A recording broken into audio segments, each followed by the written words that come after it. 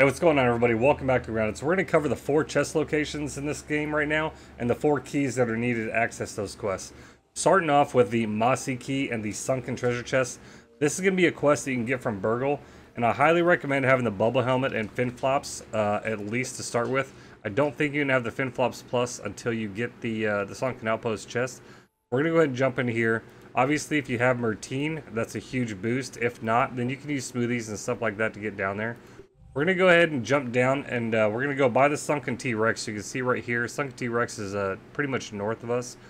We're going to jump in here, and right near the T-Rex is going to be where the chest is. And then we'll work our way over to the Pond Lab entrance, and then we'll show you where to get the Mossy Key from that spot. So let's go ahead and dive in here. Obviously, watch out for the uh, the water spiders, and watch out for Trudy, the koi fish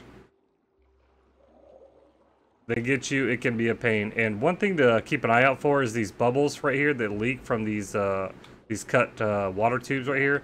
They will refill your uh, oxygen levels. So here's the sunken T-Rex right here. We're gonna go ahead and keep going down a little bit lower. This is also where you're gonna get your muddy scales and your uh, your sunken bones here. So let's head over here, and we're gonna keep heading north a little bit, or west rather. And in your adventures, you're probably going to encounter this chest right here. This is the sunken chest right here. If we can get a little bit of light on it. You can see it right here. So we've already opened it, but what I want to show you is that's where the chest is, really close to the entrance right here. Now we're going to make our way over to the pond lab, and then uh, we'll show you where that key is. So we're going to jump over here real quick, and we'll show you where that is here in a second. All right, so we're approaching the entrance to the pond lab right here. One thing that I can tell you guys is uh, when you are coming through here, you're going to see these little bubbles and everything like this, there's little vents right here that will actually push you forward and give you a huge speed boost just to get over to this point right here where we're at at the uh, pond lab. This is where you first enter the pond lab. so we're going to go up here and get some oxygen, refill this, and we're going to go from this point down into the area where the uh, where the actual mossy key is for that chest. You can see we're just at the entrance right here.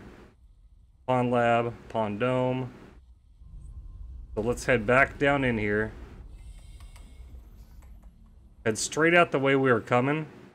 The way that we came in. We're going to head sharp down and right over here to this area to the right. So there's a little cave right here, and this cave is going to go all the way down in here. And as you get to closer and closer, there's going to be a bunch of diving bell spiders. So make sure you have a spear or a dagger or something that you can fight yourself off or uh, defend yourself against. You can get in there without fighting them. It's a little bit tricky though, so if you don't have your smoothies or uh, Mertine, then uh, definitely make sure that you get some of those. You can see one one diving bell spider right there. Here's a second one. We're going to keep heading down into this area. You'll see the bubbles coming up from the pipe down in here, a tube down here. So where you're going to go, the key is going to be resting literally right here. So you can go ahead and come down here, snatch that mossy key, and then just kind of book it back out of here and not even have to deal with the diving bell spiders. There's going to be some other stuff. There's going to be some, um, I believe, brittle marble shards and stuff like that down here. But if you're just looking for the key and that's what we're focusing on, getting right here, then that's how you get the key. And I would highly recommend once you come back out of the cave, if you don't have uh, a lot of oxygen to breathe, head back into the pond lab and then go ahead and refill your oxygen. We're going to go ahead and do that now just to showcase it. Come back right up into the entrance of the pond lab. Refill your oxygen. And then we're going to go ahead and head right back out to where the uh, where the chest was. So head back out just the way we came. And now you see this this this whole area is all lit up now. You can come back here. You will need more oxygen to come back because all of those vents are pushing you towards the pond lab not away from the pond lab, and there's no way to reverse that. So obviously when you're swimming back this way, make sure you keep an eye on your stamina as well as avoiding these vents because they'll just push you back on your way out. We head back over here, and like I said, uh, right over near the T-Rex, you can see the T-Rex's eyes. And right down here is where the chest is. We come right up on top of it, unlock the chest, and you're going to unlock the, uh, the items that you need. And I believe this is going to give you access to the Splatburst recipe. Once you turn the uh, sunken uh, chest chip into BURG.L, it's going to give you access to the Splatburst recipe, I believe the Fin Flops Plus recipe, as well as the Slime Lantern Plus recipe. All for varying amounts of raw science, but definitely uh, highly useful if you get the Fin Flops Plus recipe, as well as the uh, the Slime Lantern Plus, because it's going to make it last a little bit longer. And the Fin Flops Plus themselves will actually make your um, your swimming a lot faster. We'll go ahead and show you here. So it's going to increase your sprint distance and your swim speed. Light armor, you're not worried about that. But then the Slime Lantern Plus that you'll unlock, go ahead and check that out right here. It's going to be a, last a lot longer than your typical torch. Just like when you unlock torch and then torch plus, it's just going to increase your duration of the slime lantern plus. So there's your sunken chest chip and there's your mossy key and sunken chest itself. Let's go ahead and jump to the next one, which is going to be the Minotaur maze key. All right, so for the Minotaur maze key, the Minotaur maze is going to be located up inside of the uh, castle on top of the picnic table. And in order to access the uh, picnic table, you're going to need a splat burst or a brot burst to blow up some rocks over by the uh, shovel here and then at that point you'll blow up the rocks underneath the shovel and then it'll create the uh, leading shovel right here which gives you access up to the picnic table now to get the key we're going to show you guys where we're at here so we're over here at the Bust a Dance uh, jam cassette tape here just west of the mysterious machine you can see almost perfectly west we're going to head right over here past the leading shovel over to this exposed pipe right here and that's where our key is going to be. So before you go do this, you're going to need a tier 2 dagger to cut some of the roots down in there. Let's head over there. From right here, we're kind of right in between the picnic table and the uh, sandbox. And I want to show you this. There's this little patch of water right down here that we approach right here. And down here, you're going to see, once we uh, just kind of hug the water to get to this area. Don't get stuck in the grass like that. Keep running over here, and here is your exposed pipe right here. Now, you don't need Mertine, you don't need the uh, fin flops or anything for this can just head right in here. You're Gonna find some marble over there, some quartzite in here. This area right here is where you're gonna need to go down into. And let me go ahead and equip my uh, tier 2 dagger right here. This is just a spider fang dagger. Any tier 2 dagger will be fine. Bone dagger is tier 2. You can't use the pebblet dagger, so it's gonna have to be the spider dagger or the uh, or the bone dagger. Your tier 2 daggers are gonna be able to uh, cut this down. So if you have Mertine by this point, go ahead and throw it on. We have it on right here. You're going to go down right here. Get in first person. And off to the left over here. You're going to come over this way. Down under here, you're going to see a little bit of glowing from the slimes. There's going to be some uh, some roots right here that you're going to cut through with your tier 2 dagger. And then the key is going to be sitting right here.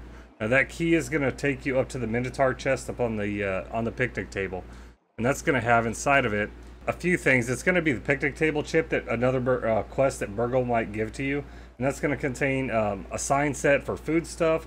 And one more importantly, it's going to give you the scab scanner for milk molars. That way you'll be able to find all the milk molars when you get close. Your scabby will start uh, going off on that.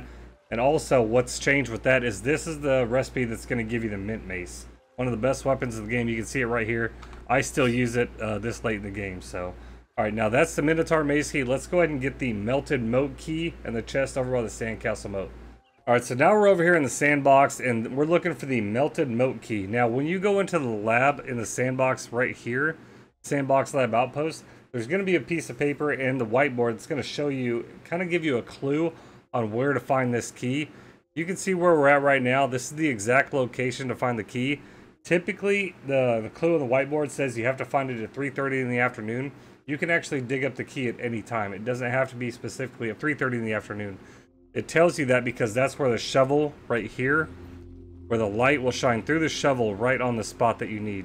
So if you can look where we're at right here on the map, kind of give you an idea right here. So go ahead and take a screenshot, whatever you need to do to look at that, exactly where we are on the map. Kind of right in the between the, uh, in the middle of the northeast corner a little bit northeast of the uh, the shovel here. So the, the light will shine right here.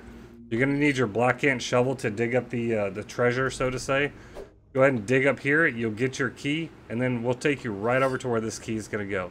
Now, if you haven't been here before, you're definitely going to need to do this um, being prepared. So some salty weapons for the uh, ant lions, or if you do it at nighttime, you don't have to worry about the uh, the sizzle. But if you're doing it during the daytime, You'll want antlion armor or at least fresh defense for the uh, sizzle protection. So the key is gonna the key for the chest is gonna be right over here. The chest is over in the moat of the sandcastle here. So we can go over here and uh, off to the side, on the left side of the sandcastle. Again, you won't need Mertine for this. You are going to be in the water. You can run past all these ant lions right here. They're not going to come in the water. But you'll see a chest over here on the left side of the sandcastle. This is what the melted moat key will unlock right here. And I believe there's a milk molar as well as the waterlogged recipe that's going to grant you access to the Salt Morningstar. Salt Morningstar is also one of the best weapons of the game right here because it's a one-handed salt weapon and you can see the, the amount of stun that it uh, has on it right here. So you can use this with a sword or with the Salt Morningstar itself and a shield and do a lot of damage, especially to a lot of the other insects in the yard later on, on in the game are weak to salty. So you're definitely going to want this right here. Alright, so that's this one. Now let's get into the upper yard where we're looking for the sticky key to get us a really useful uh, weapon for late game. Alright everybody, so now we're going to make our way over to the sticky key and uh, sticky key location in the chest that's required uh, to open it. And this is going to give you a really good item for uh, in-game.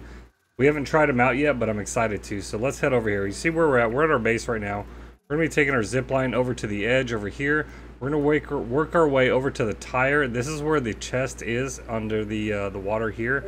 And then we're going to work our way over to where the actual key is. So let's get to it. We're going to head, go ahead and jump over to where the tire is. So we'll be right back. All right, so we're approaching the tire over here. And one thing I want to tell you guys is just make sure you're prepared. If you haven't seen my other videos about the, this upper yard area, you definitely need to be prepared for this. So we go ahead and jump up here. You can see this is the tire area. And right down here, we have a big old puddle of water down inside here. And you can see a milk molar scab going off because there is a milk molar inside of this chest. So you can see the chest right down here. That's where the chest is that we need for the sticky key. Now the hard part is actually getting the sticky key. So let's go ahead and jump over that area and uh, we'll show you how to get it. Alright, so we're over here next to the collapsible ladder. You can see right here on a location, uh, I have a little resting spot right over here. We're kind of almost right in the middle of the uh, northeast corner of the map up here. What you're going to want to do, you see all these vines going up here? There is one particular spot, not these last two uh, supports right here, but this one right over here. This is where you're going to want to go up from right here. We're going to take this up right here. Then you're going to want to jump off to the right over here onto this plant. And then from here, you're going to jump over to the brick, the stone wall itself. Then you need to head uh, east from here, jump up over here, this will give you access to this branch right here. So you want to jump over to this one. Make sure you have a dandelion tuft just in case you fall. Then slowly make your way up all the way up here. You should be able to walk all the way up. Just be careful for the uh, little vines sticking out so they don't knock you down. You should be able to just walk uh, pretty easily all the way up here. You're going to get up here. There's going to be this little one right here. Just hang off to the left and take your time. Then you can get up on the ladder right here. So this is where we are right here. As you can see, we're on top of the ladder. Uh, if you go across over here, there should be some raw science over here on the right as we move our way down this way. There it is. You can see it right there. We're going to move our way down a little bit back over here up to this weed. We're going to be climbing up this one right here. So as you can see now, we're going to jump over here onto this one. And again, be very careful. We're doing Jack and the Beanstalk uh, stuff here. This part's a little tricky. Just slowly walk around the, uh, the side of these um, these uh, pieces sticking out right here, these little stems, because they can knock you down. This one, if you just want to jump up, it's a lot easier. And we're doing the same thing we did down there. Jump up onto this one right here. And this is going to take us all the way up to where the uh, sticky key location is. Just walk all the way up here. You're going to get to a point right here where you can't uh, walk anymore. You should be able to do one little jump up here. And this piece of gum right here, this is where the sticky key is going to be located. So jump over here. Now you can look down and see all of the uh, the work you had to do to get up there. Make sure you have your black ant shovel. If you don't by now, then uh, you're messing up. We're to go ahead and dig up this gum. There should be two mint pieces right here too. There were when I came up here. And now we have our location of the sticky key right here. So now we can grab this, and now we can go head back over to the chest that's over in the uh, tire. So let's go ahead and do that. I'll meet you guys over there. All right, so we're back at the tire. Let's go ahead and drop down, and we're going to use the uh, key down to this chest here. One big thing I will tell you guys is that there are spiny water fleas in here, and like I said, when they gang up on you, they can be hard to uh, take care of. So we're to go ahead and get in here real quick, open this chest. get our molar, our molar, and make sure we grab the waterlogged recipe number two here, which will allow us to uh, begin to craft bomb arrows. So, alright everybody, that is all four chests in the game right now, and I don't see there being any more added. Uh, but there's all your key locations and chest locations and the rewards inside of them. Some of them are going to have some milk molars. So be uh, make just make sure when you open the chest, you go ahead and get everything that's inside of there. So with that being said, everybody, take care of yourselves, take care of each other. As always, stay original, my friends. Later. Hey, thanks again for watching, everybody. If you like that video, go ahead and check out one of these videos right here. Thanks. Bye.